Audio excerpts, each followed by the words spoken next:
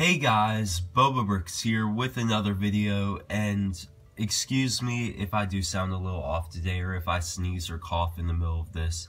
Allergies are crazy right now, so I may end up um, doing either of those things. But what I have for you guys today is the second episode of my series, the Micro MOC, and this MOC is a MOC of Naboo. Now, you will notice many things that uh, may look a little weird, but I had to work with what I have, especially if it in this scale.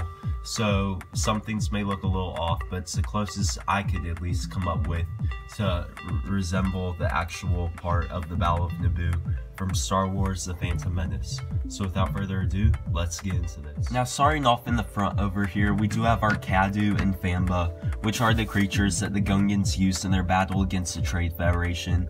And I know that these, the Fambaa, do look ridiculous, or the Kaadu, I'm sorry I got that mixed up. But the Kaadu do look ridiculous using the turkey leg pieces, but that's the closest I could find that resemble the Kaadu with their long necks and their fatter bodies in the back. And I think that it's turned out alright. The more you see it, you get used to it a little bit more and it doesn't look quite as awkward.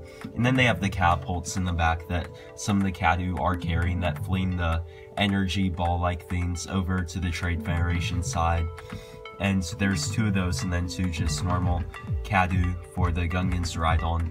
And then for our Fambaa, we do have two of them carrying the shield generators with their heads and feet and tails. I think that those look decent and carry that look pretty well. And like I mentioned earlier, these, especially on the Gungan side, do look a little awkward and off but for the scale that I had, I think they have turned out decent and look alright. Now on the opposite side of this MOC, you can see the Trade Federation side with two MTTs and an AAT, which I think do resemble the, the look they have in the movie very well. You can see the slanted pieces on the side resembling that look in the movie, as well as the two turrets in the front and the little circle hatch-like thing that the droid rat comes out, and then the droids, of course, fold out onto the ground to battle the Gungan army. It's the same for that one over here.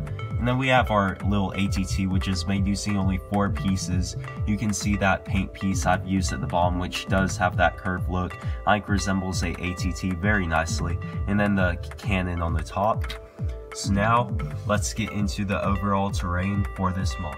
And now for the overall terrain of this MOC, you can see there are many ups and downs in the terrain, such as over here, and over here you can see it does gradually go upwards and then as well as up here you can see some more of that shown with the grounds rate rising up to there and then over here there is a little river like thing you can see with some light translucent blue pieces as well as some clear flat top uh, translucent clear pieces and then there's some sand on the sides with two trees that are kind of resembling the Gungan swampy look that it does have in the Phantom Menace. So that's basically it for this MOC, so now let's get into the 360.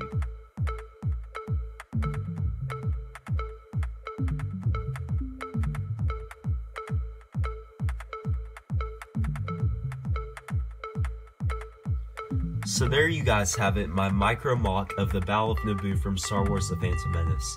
I'm pretty happy with how it's turned out. I feel like the Gungan side does look a little awkward, but we work with the pieces we had. I think it looks half decent.